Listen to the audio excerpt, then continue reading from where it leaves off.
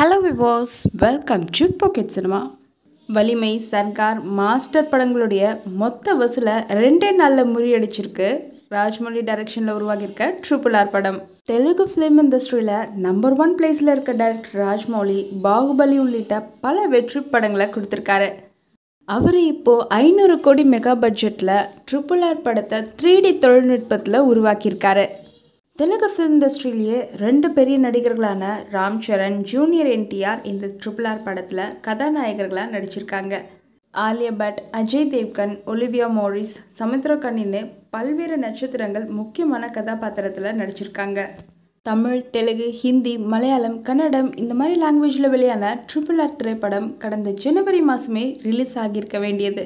But corona ரீசன்னால் படத்துடைய release டேட்டை தள்ளி வச்சுருந்தாங்க. இப்போ மிகுந்த எதிர்பார்ப்புகளுக்கிடையே நேற்று முன்தினம் உலகம் முழுவதும் வெளியாகியிருக்கு. ஃபேன்ஸ் மத்தியிலையும் இந்த படத்துக்கு நல்ல ஒரு வரவேற்பு கிடைச்சிருக்கு. உலகம் ஃபுல்லாக ரிலீஸ் ஆன இந்த ட்ரிபிள் ஆர் படம் முதல் நாள் மட்டுமே இரநூத்தி நாற்பத்தெட்டு கோடி ரூபாய் வரைக்கும் வசூலிச்சிருக்கிறதா தகவல் வெளியாகியிருக்கு. அதன்படி பார்த்தோம்னா பாகுபலி படத்தை விட இந்த படம் பெரிய வசூல் சாதனையை நிகழ்த்தும் அப்படின்னு எதிர்பார்க்கப்படுது.